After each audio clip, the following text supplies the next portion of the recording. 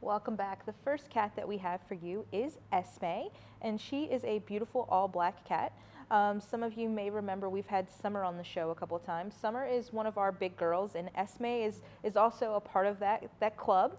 Um, Esme weighs in at uh, 16 pounds, um, but given her frame size, she's uh, more than a little bit overweight. Um, so she's on a bit of a diet, special food that's um, gonna um, help her lose a few pounds while she's here with us. But once she were to be adopted, it's important for any of her, uh, her, her new family members to find out, you know, what her diet plan should be because she is a senior cat. She's 10 years old.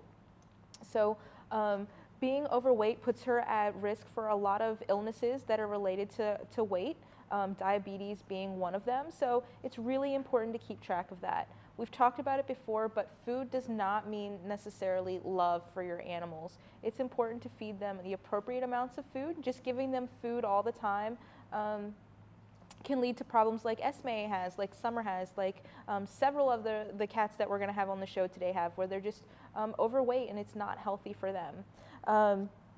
Esme was previously owned. She was owned by a family for about nine years, and then they brought her to us because they said that she um, wasn't doing well with some household changes. Uh, not only did they get a dog, but they um, also um, started having a family. They said that Esme tolerates the children, um, but wasn't necessarily a fan, and that could mean a lot of things. Um, we do ask that every member of the family come in and meet with the cat. So if you have children, it's not necessarily that Esme won't get along with them. It could be that these kids um, were younger. it could be that they were, you know, you know, petting her in places that she didn't like. They could have been chasing her around. We don't know what the situation was.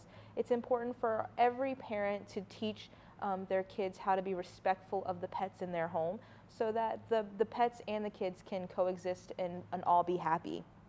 Um, as far as getting along with the dog, maybe if you have a dog, um, taking Esme home might not be the, the best situation for, for all involved.